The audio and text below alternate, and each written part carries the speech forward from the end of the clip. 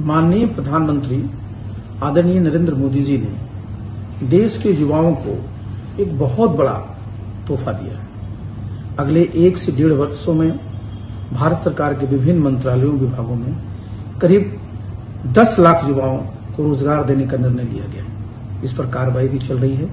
प्रधानमंत्री की यह सोच और ये कदम की जितनी भी प्रशंसा की जाए, वो कम है।